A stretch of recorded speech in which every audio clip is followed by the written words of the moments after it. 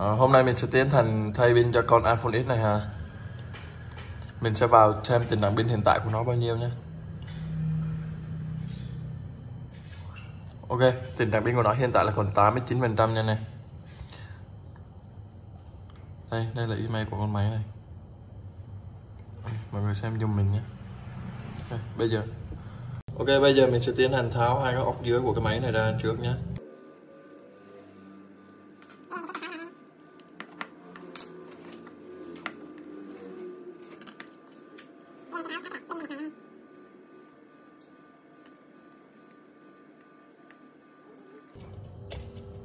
Mọi người tháo ra thì nhớ cẩn thận cái dây Face ID của cái máy này nhé.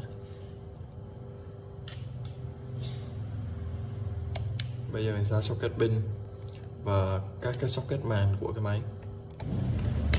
Đây là tất đã xong cái màn và cái men của máy rồi nhé. Ok anh em, bây giờ thì mình sẽ chế vào một, đây là một ít nếp tắt nha, cho nó nhả cái keo pin ra. Mình mới dễ lấy cục pin ra hơn mình dùng cái nhíp nhỏ đó, mình tháo mấy cái siêu pin ra ha mà lúc mình tháo mình nhớ cẩn thận nha. Cái máy dòng từ 8 nút đổ lên á, nó có cái hỗ trợ sạc nhanh ở dưới cục pin. Ok. Đây là cái lúc mình đã tháo cục pin ra rồi ha. Thay gọi cái sườn của cái máy này nha.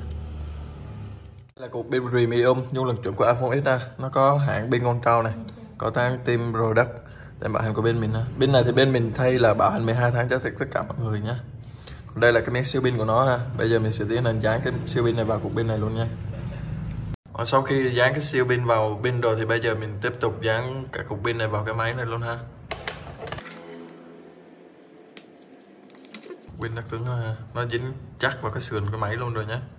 Ok, bây giờ thì mình tiếp tục gắn cả cái socket màn vào trước rồi mình ừ, gắn socket pin ha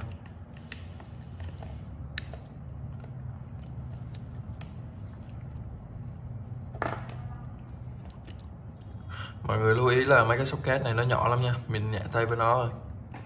Rồi bây giờ mình sẽ khởi động máy lên test là thử ha, con nó lên nguồn nha khi xong máy đã lên rồi ha, thì bây giờ mình sẽ test các chức năng của máy nha máy này lúc đầu thì nó bị mất phay rồi ha. Bây giờ mình sẽ test cái phần cảm ứng rồi nhé.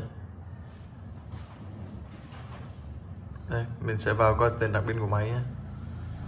Ok tiền đặc pin của nó là hiện 100% luôn nha này vẫn là email của con máy lúc đầu luôn nha. Bây giờ mình sẽ test các chức năng ha. Test cảm ứng nhé